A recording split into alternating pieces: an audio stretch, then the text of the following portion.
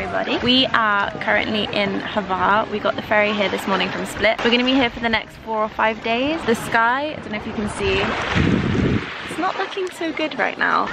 Tired? Bit. You want a coffee? Wanna go in the sea? Yeah. Let's go in the sea.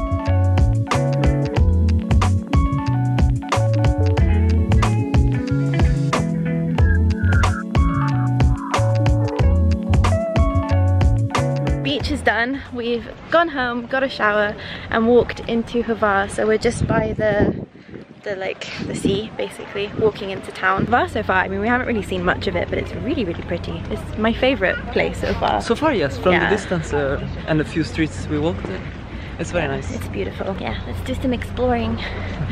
so bright.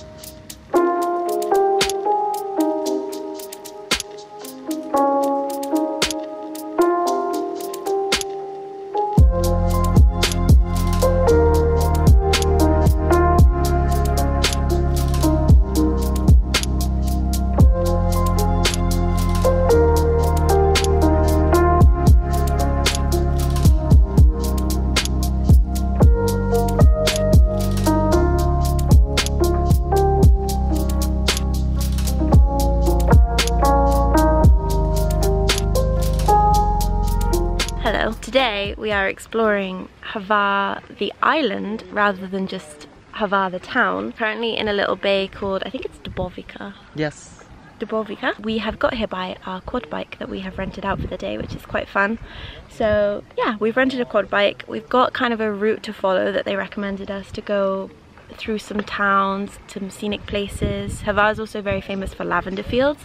I think we might be a bit late in the season, but we will actually see kind of Hvar as an island rather than just see the city that we're staying in, which is obviously very pretty, but it's nice to see the rest of it too. You have anything to add? Nah. Nah.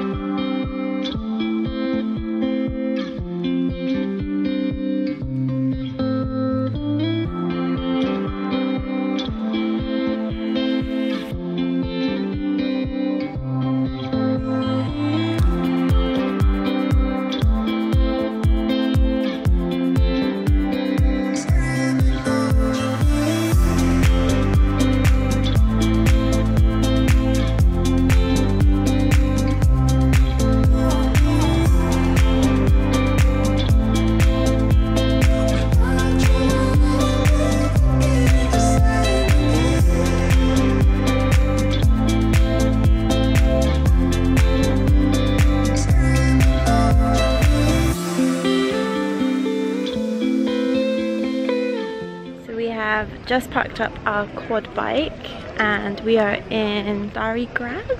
Mhm.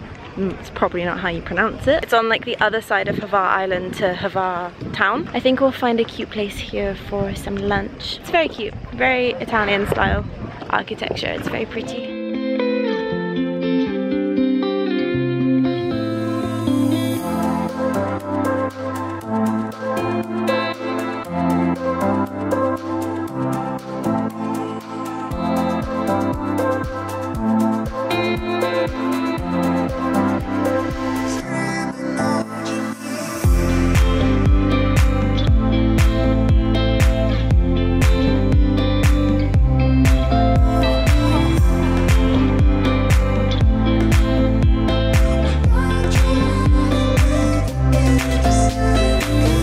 We are at our next stop, which is Jelsa. There is a map here so I can show you kind of the route we've taken. This is our town. Uh, the, whole island is our island.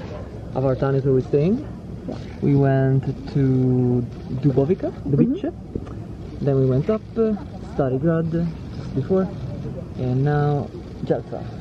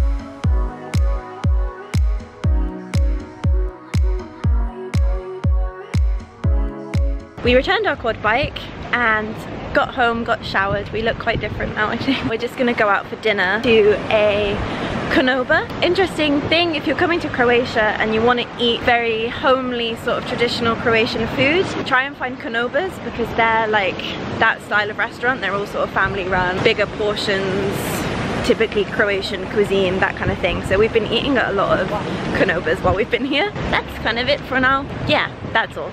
See you later. Yeah.